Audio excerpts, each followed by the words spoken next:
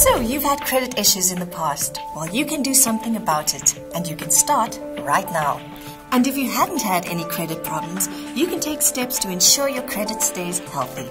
It is important to adopt healthy credit habits to position yourself as best you can in the eyes of credit providers, insurers, even potential employers. TransUnion can help get you started. Here are some tips to help you reach your financial goals. Always pay all your bills on time. Pay each of your bills on time, every time, even if only the minimum due. Late payments are viewed negatively and stay on your report for at least two years. Try to keep the balance on your credit accounts at or below 35% of your available credit. In other words, if you have a credit limit of 1000 Rand at a retail store, try to ensure that your amount owed doesn't often go above 350 Rand. And if it does, try to get it back to that 35% amount as quickly as possible. Do not apply for too much credit.